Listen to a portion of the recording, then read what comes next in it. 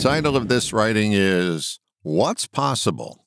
What little piece of creativity is itching to get out? That's a question the grasshopper asked. Everyone's creative. We all create all the time, but there are some pieces of creativity that we keep bottled up.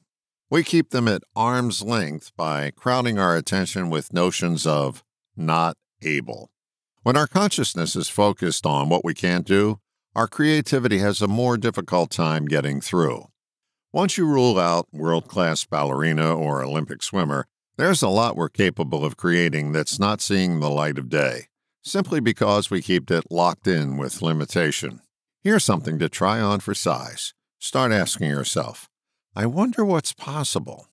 Make possibility inquiry part of your daily routine. My experience is our conscious mind works well with questions.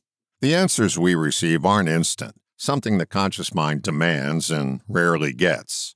This other than conscious part of us does its work in the background, but it does need something to work on to spur its creativity. Take the time to create some physical reminders for yourself. Put a 3x5 card or a post it note by your bedside with the question, What's possible? on it. Stick one on your bathroom mirror or on the refrigerator. Put one in your wallet or purse. Surround yourself with possibility. The secret to receiving is asking. Ask what's possible often and watch your creativity begin to flow and your notion of not able become an outdated fable. All the best, John.